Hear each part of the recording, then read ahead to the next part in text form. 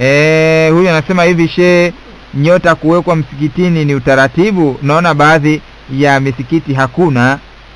Uh, nyota sio sio utaratibu wala haijaelezwa popote na mtume sallallahu alaihi wasallam wala kwenye msikiti wa mtume sallallahu alaihi wasallam haukuwepo ila nyota ni alama ya ya kijiografia.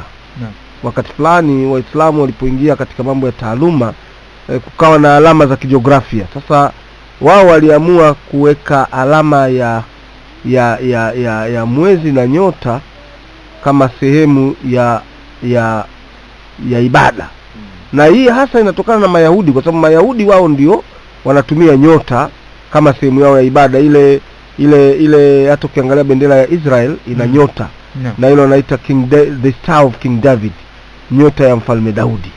Kwa hiyo wao ndio waliasisi hayo mambo ya nyota kwa hiyo waislamu wakaiga huko na wanaweka katika misikiti yao lakini sio sio sio sehemu ya ya kwamba ni masharti ya kiislamu. Ni alama ya kijiografia tu kwamba mtu akipaa na ndege juu au akiona alama ya nyota ijulikane hapa ni mahala pa ibada. Lakini si sehemu ya ujenzi wa msikiti